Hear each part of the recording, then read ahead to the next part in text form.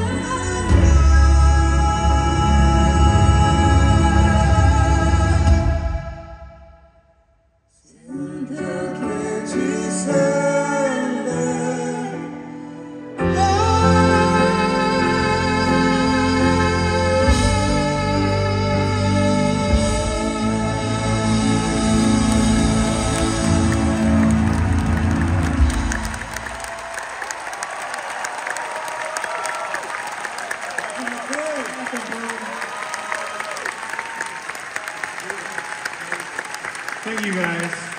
Wow. I'm glad I pulled that one out. Michael Bolton, Kevin McCabe.